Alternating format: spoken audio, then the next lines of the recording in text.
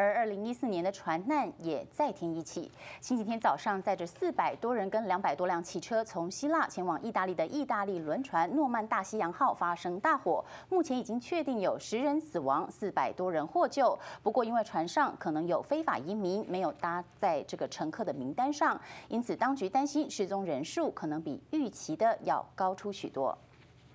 火舌是从轮船下层的停车场窜出，但火灾发生时警铃竟然没有响。许多乘客是在睡梦中被其他乘客叫醒，或是被烟雾呛醒，赶紧前往游轮上层逃生。由于配备的救生品不足，许多人在寒风中等待了好几个小时才盼到直升机救援。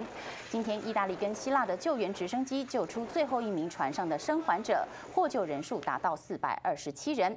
根据正式的登船人员名单。这艘船搭载了四百七十八人，不过在获救的人员中有八十位是不在名单上的非法偷渡客，显示失踪人数可能超过百人。目前当局还在调查船难的发生原因。